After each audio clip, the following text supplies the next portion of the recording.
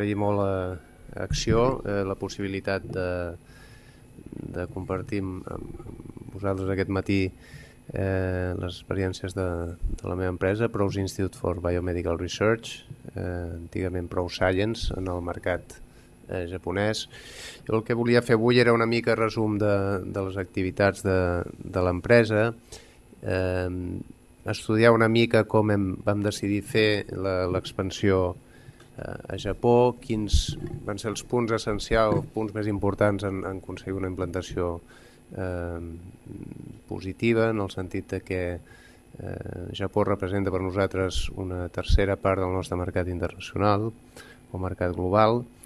i eh, bon, després eh, si algú té alguna pregunta doncs podem fer una mica més de, de brainstorming, una mica més de, de discussió amb els, amb els assistents. Eh, la nostra empresa és una empresa biotecnològica, és un, el nostre grup Prous Institute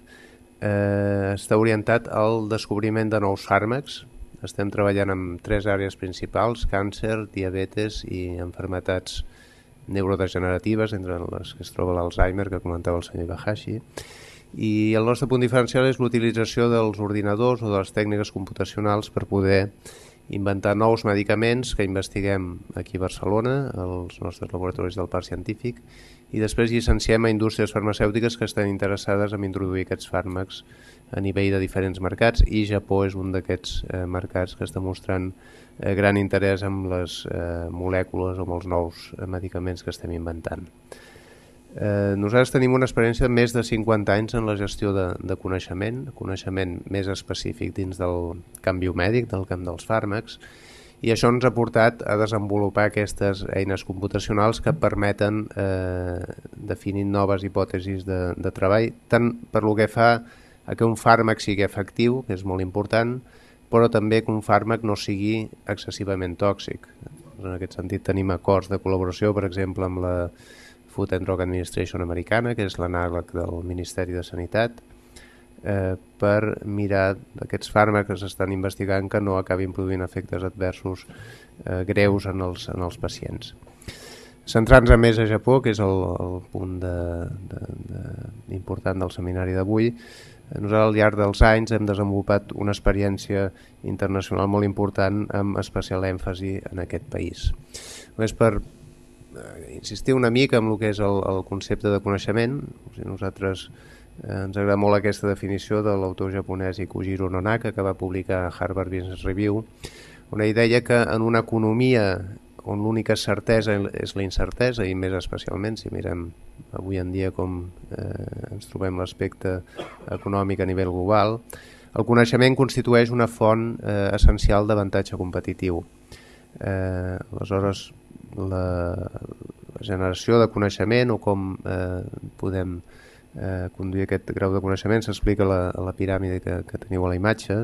on començant de dades disperses, aquestes dades eh, estructurant-les, eh, processant-les, obtenim informació, seria el segon nivell de la piràmide. Aquesta informació s'ha de comprendre per eh, crear el que és el coneixement, la tercera eh, part de la piràmide, i ja a la part superior eh, utilitzant els processos eh, adequats de comunicació i de presa de decisió podem eh, conduir a l'acció que s'aplicarà no només en el nostre negoci sinó a les eh, relacions amb, amb, amb el nostre eh, networking. Eh, aleshores la nostra companyia per fer 500 va començar detectant una necessitat Eh, aquesta foto és la imatge del fundador de l'empresa, el doctor Prous, de, és una foto dels anys 60, finals dels 60, principis dels 70. Ell era eh, director d'investigació una empresa eh, farmacèutica catalana important, el que és avui el Mirai, i com a investigador mm, ell va detectar unes necessitats d'informació que no eren cobertes per ningú. O sigui, necessitava saber doncs, com s'ideaven nous medicaments, quines patents d'invenció es publicaven a nivell internacional, eh, com es feien aquests fàrmacs al laboratori, com es provaven en, en proves de, de farmacologia. Llavors va sorgir la idea, si ningú ho està fent, ho faré jo, perquè més gent com jo, altres investigadors ho poden eh, necessitar. Així eh, van néixer aquestes primeres publicacions, el format a l'època era eh, aquest gràfic que veieu eh, a baix a la, a la dreta, o sigui, unes fitxes impreses on s'indicava doncs, tota aquesta informació relacionada amb els medicaments. Ell ho va començar a publicar en, en castellà, va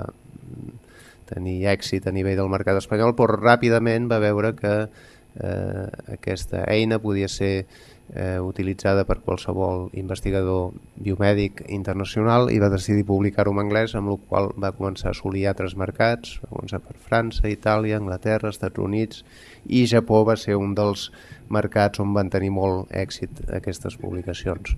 Doncs aquesta va ser una mica l'evolució de l'empresa des de llavors, als anys 60 començant amb aquestes petites publicacions, això va permetre fer eh, créixer el negoci i publicar altres eh, revistes especialitzades que van ser introduïdes amb molt èxit a, a nivell internacional, indexades en, els principals, en les principals bases de dades biomèdiques. I als anys 80 vam eh, incorporar activament les tecnologies de la informació eh, a les nostres publicacions, primer en format CD-ROM i després als 90 amb, amb internet, fins que eh, alguns dels nostres productes, per exemple Integrity, que apareix aquí, van ser eh, o continuen sent estàndards de utilització per tots els investigadors de la indústria farmacèutica internacional. Actualment més de 500 companyies farmacèutiques del món utilitzen les eines produïdes aquí a Barcelona i eh, a la vegada vam eh, crear un spin-off que és el Pros Institute for Biomedical Research que és aquesta empresa que eh, s'orienta al descobriment de, de nous fàrmacs. Eh, L'any 2007 la, la part eh, més orientada a publicació, a bases de dades, va ser adquirida pel grup eh, Thomson Reuters eh, un grup eh, líder en la provisió d'informació professional, que tenia un gran interès per eh, tenir una empresa dins del grup enfocada a, a la investigació bàsica de fàrmacs. I també una de les coses que va treure molt Thomson va ser la, la presència activa de Pro Science al mercat japonès, el nostre know-how al mercat, i des d'aleshores hem centrat els nostres esforços a, a l'empresa Pros Institute. Això és la nota de premsa de l'adquisició, passaré ràpid. I els nostres clients es troben eh, en una sèrie de eh, grups que estan eh, que en certa manera tenen una relació important amb, amb la indústria farmacèutica. Tenim eh, clients tant a universitats i centres de recerca i per nosaltres és molt important aquesta relació que s'està ampliant cada cop més entre empreses i eh, centres públics de recerca, eh, professionals de la medicina, principalment metges, societats científiques i mèdiques, agències reguladores, com comentava la FDA americana, però també el Ministeri de Sanitat de Japó, seria un cas, i després un grup més eh, divers on, on participen brokers d'informació, inversors o consultors. Al camp dels inversors és interessant veure quan una indústria farmacèutica publica estudis clínics que han fet amb un fàrmac determinat, com les accions poden variar eh, de valor a l'alça o a la baixa en funció dels resultats científics que, que es presenten. Llavors hi ha una relació molt important entre informació i, i economia. Centrant-se més a la investigació farmacèutica, aquest gràfic eh, defineix el que seria el procés de recerca i desenvolupament de fàrmacs. A la part esquerra, on tenim drug discovery i drug development, serien els processos en els quals eh, la indústria té que fer inversions molt importants per eh, provar que un nou fàrmac és potencialment actiu en una malaltia, fins que arriba a aquesta part de la dreta, drug marketing i line extensions, on realment el fàrmac es llença al mercat i hi ha un retorn de, de la inversió eh, per la indústria. Aleshores, la gran diferència de la indústria farmacèutica respecte a altres eh, sectors és que aquest procés de drug discovery i development pot eh, ser molt llarg, pot eh, durar de 10 a 12 anys, a diferència d'altres sectors, i el temps que eh, l'empresa té per recuperar aquesta inversió i que està eh, limitat per la validesa de la patent a nivell dels diferents països on, on es comercialitza el fàrmac, eh, doncs és, és un temps limitat. Aleshores, les empreses farmacèutiques, qualsevol cosa que pugui ajudar a reduir amb temps o amb diners aquesta part de l'esquerra, la part de Drug Discovery i Drug Development, doncs està disposada a adoptar-ho, ja siguin invencions noves en forma de molècula o ja siguin eines o capacitats que permeten eh, reduir aquests, aquests esforços. Això resumiria com nosaltres vam interpretar aquesta eh, necessitat, eh, proveint diferents eh, serveis, bases de dades, eh, serveis de drug discovery, ara més actualment, organització de conferències, consulting, un ventall de eh, d'activitats, la majoria de les quals doncs, s'han doncs, introduït al, al mercat japonès. No només al mercat japonès, sinó també eh, en un mercat global. Això indica una mica on al llarg dels anys hem obert les nostres eh, diferents filials i, evidentment, la de Tòquio és un, una eh, oficina principal eh, per nosaltres. Ara ja passaré una mica a, a, a raonar com eh, nosaltres vam eh, iniciar l'estratègia d'introducció al, al mercat japonès i jo crec que aquest, aquestes, eh, aquests diferents punts de, de la diapositiva doncs, són una cosa que hem de fer quan volem eh, expandir-nos a, a qualsevol país,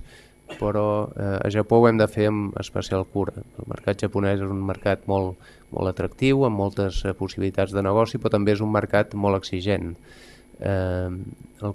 o, o l'experiència que hem tret nosaltres és que si un producte o un servei eh, té èxit a Japó, doncs els altres mercats són relativament més, més fàcil o més, o més oberts. En aquest sentit, quan nosaltres llancem un nou producte, sempre ho fem per primera vegada a Japó. Eh, a Japó perquè tot l'input que rebem és molt interessant i el podem aplicar a altres països. Per fer-vos una idea del grau de detall que, que podem rebre a Japó, una de les activitats que organitzem són reunions amb els clients, on citem eh, ben bé 200 clients de la indústria farmacèutica, eh, a una sala de congressos tant a Tòquio com a Osaka, i al final pues, eh, fem un, un, un qüestionari de què els ha semblat el seminari eh, doncs, que, els, que els han semblat els ponents, la qualitat de les presentacions eh, les sales, etc. i un cop va haver-hi dins d'aquesta enquesta a l'apartat altres comentaris algú que posava m'ha agradat molt tot els ponents, els productes que heu presentat eh, la durada de la conferència però sisplau la propera vegada baixeu l'aire condicionat un grau perquè feia una mica de calor o sigui, això dona una idea del grau de detall que eh, pot arribar al mercat japonès. Aleshores, nosaltres quan vam decidir implantar a Japó, evidentment vam fer un, un pla de negoci orientat al mercat, planificació financera important, eh, el que hem vist a Japó, a diferència d'altres països, que les, els retorns de la inversió són més a llarg termini. O sigui, jo crec que és difícil pretendre arribar el, a Japó i al cap del primer any ser absolutament rentables, amb uns creixements espectaculars. Jo crec que el mercat japonès requereix una paciència. O sigui, hem vist un creixement sostingut, però no podem, en el nostre cas, no hem pretès mai el primer any eh, ser eh, un any d'explosió eh, de, de, de, de negoci, a diferència d'altres mercats. Hem conegut altres mercats, com el coreà o el xinès, on el comportament ha sigut totalment diferent. Però en l'aspecte japonès hem vist que eh, tot és més un creixement més, més sostingut. Els aspectes legals i de regulació també són importants. Eh, hi ha molts sectors dels quals ha explicat el senyor Ibahashi on la regulació és important, eh, els sectors agraris, els sectors energètics, evidentment els factors d'investigació eh, farmacèutica o indústria farmacèutica també ho són. Un altre punt que vam fer va ser un estudi de mercat, contactar amb molts clients eh, potencials per veure quines eren les, les necessitats i assegurant-se que els productes que anàvem a oferir des de Barcelona tenien sentit al, al mercat japonès, almenys amb el format que els estàvem donant. Eh, assistir a conferència, analitzar eh, possibles competidors que estaven fent el mercat japonès. Un següent punt molt important, identificar socis. Eh, és, jo crec, important a Japó anar de la mà de, de, de japonesos, ja sigui organitzacions eh, implantades i que ajuden a l'exportació o eh, partners de distribució que eh, coneixen el mercat japonès, no només coneixen el mercat japonès, sinó que són japonesos. I jo crec que quan treballem al mercat global, on diem volem ser americans als Estats Units, francesos a França, el fet de voler fer, ser japonesos a Japó és especialment important i això s'aconsegueix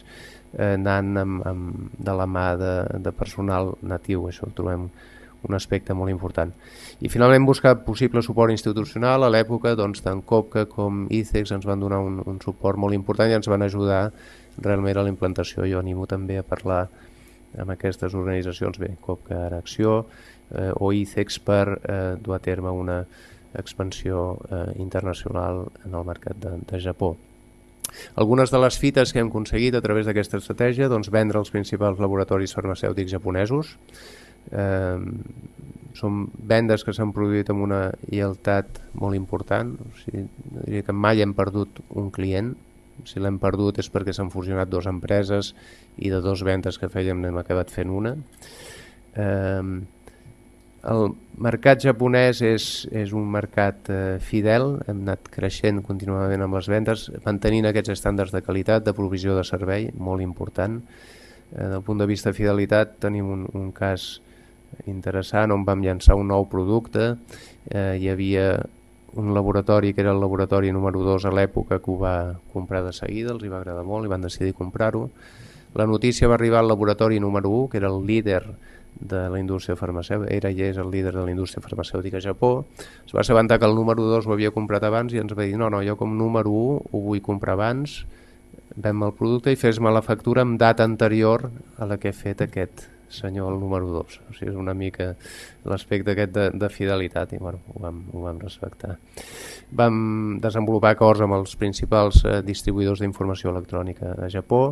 vam rebre el Premi eh, a la Internacionalització de l'Economia Catalana donat pel, pel COPCA.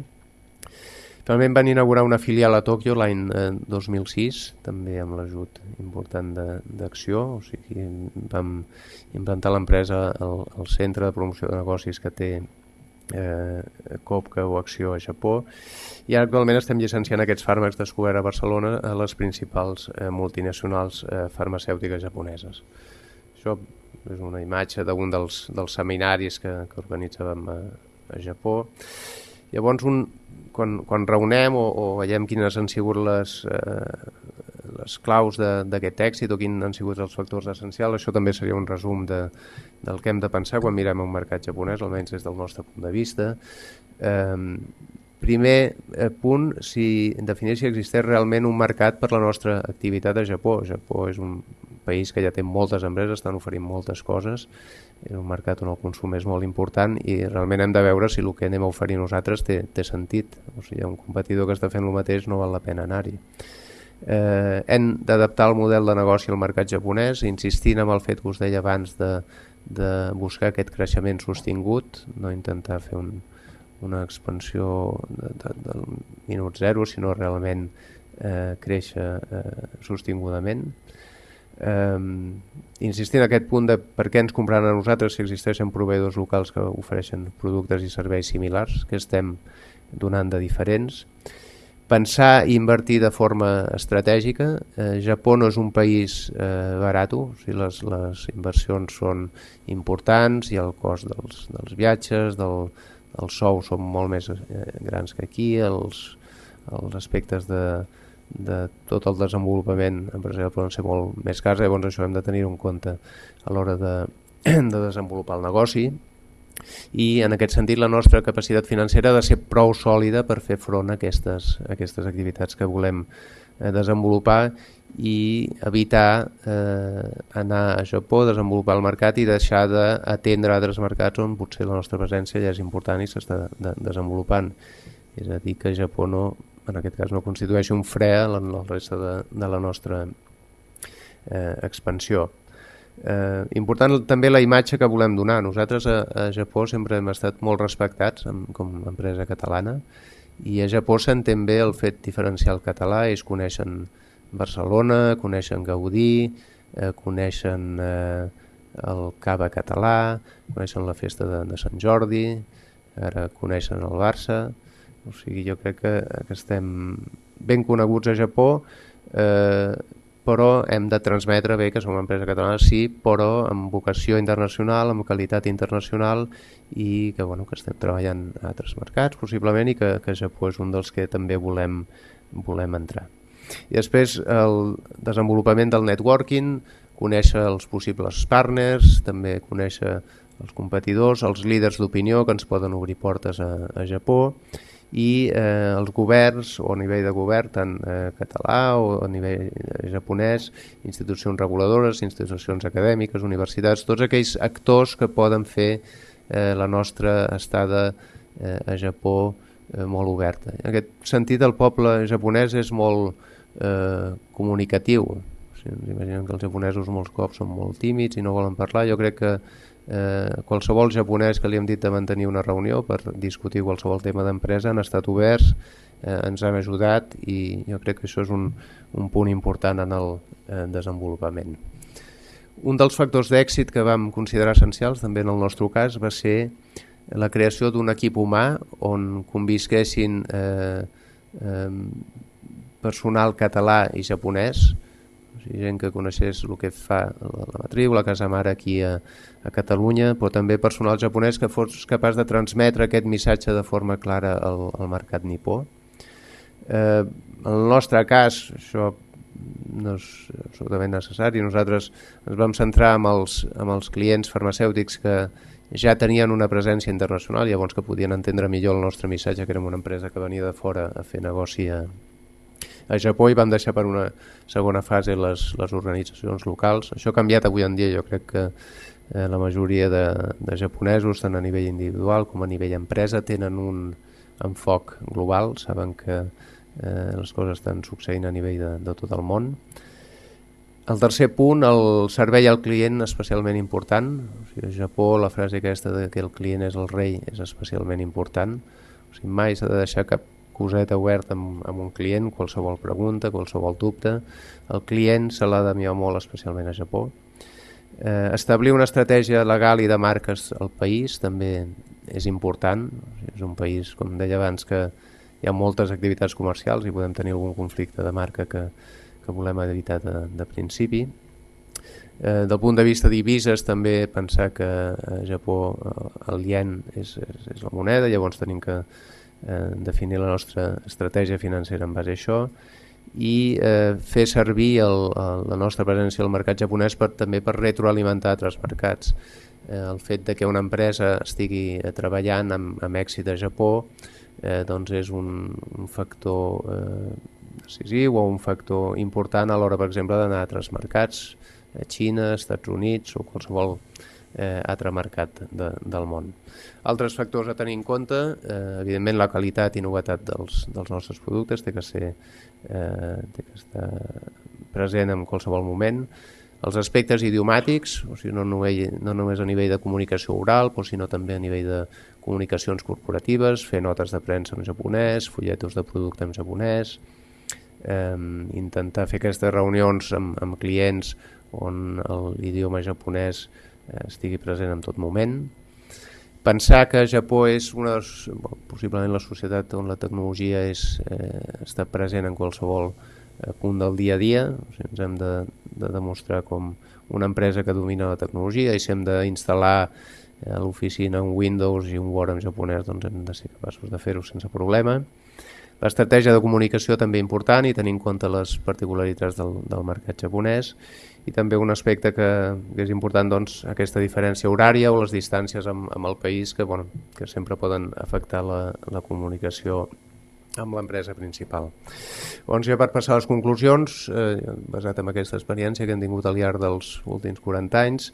es creiem que Japó és un mercat atractiu per les empreses catalanes, incloses les d'alta tecnologia. Eh,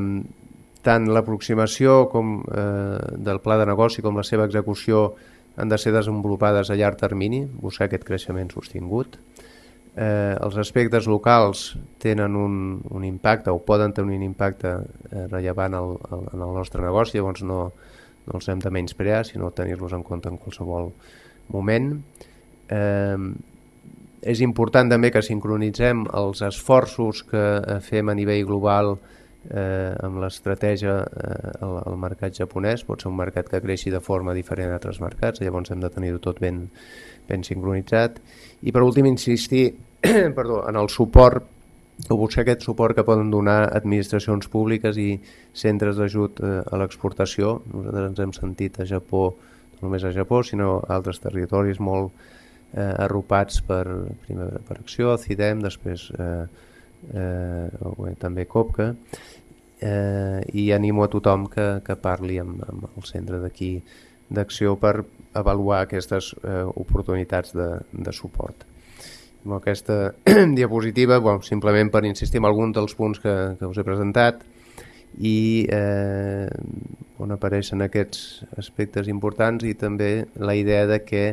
aquests diferents aspectes doncs, estan molts cops eh, lligats entre ells. L'equip tindrà que veure amb la comunicació, la innovació tindrà a veure amb la cultura, el servei en client també és important que sigui donat per aquests socis que busquem, de buscar sempre aquestes interrelacions i, i saber pues, que Japó és un, és un país eh, molt interessant, on els detalls són importants, on la feina ben feta és, és important, però on, on la presència d'empreses eh, catalanes eh, és molt benvinguda. Aquest, aquesta ha sigut la, la nostra experiència. Bé, agrair-vos la presència i si hi ha alguna pregunta doncs ara amb, amb el senyor Ibahashi, amb l'Àlex eh, Rubies, jo mateix doncs estarem encantats d'iniciar aquest, aquest debat.